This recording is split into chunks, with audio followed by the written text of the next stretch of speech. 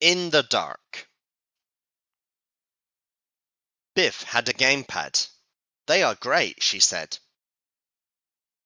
The games are brilliant. Look at this, she said. I made up a little person a bit like me. I zoom along on a jetpack at this level. I zap snow giants and try to miss flying snowballs. May I have a go? asked Kipper. But Biff did not want to let him. I'm just about to go up to the next level, she said. You can have a go tomorrow. The next day, Biff went to judo club with Chip. Kipper, go and tidy up your bedroom, said Mum. Kipper saw Biff's gamepad on the bed in her room. Biff did say I could have a go, he said so he sat on the bed and began to play. Kipper was not very good at the game. Splat! He kept getting hit by things. Suddenly the magic key began to glow. Kipper went with a whoosh into an adventure. The magic key took Kipper into a game. He had a jetpack on. Whoosh! Help! said Kipper. How do I control this thing?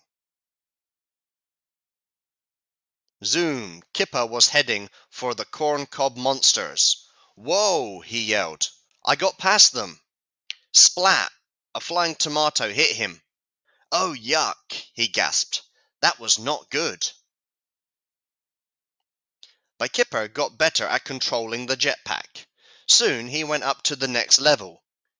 He zoomed up and down, missing the robot dragons and popping paint balloons. Pop, splat. Kipper went up to the next level. Suddenly, a warning began to flash. Recharge. The battery was low. Kipper started to slow down. A jelly landed on his head. Plop. It began to go dark. Oh no, said Kipper. If the gamepad runs out of battery, I will be stuck. Just then, Biff came back from judo. My gamepad needs charging, she said. Kipper landed in Biff's room. Bump!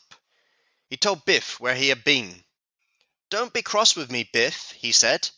I'm not cross, said Biff. It's funny. It was not funny at the time, said Kipper. Do you want to play another game? said Biff. No, not just yet, said Kipper. The end.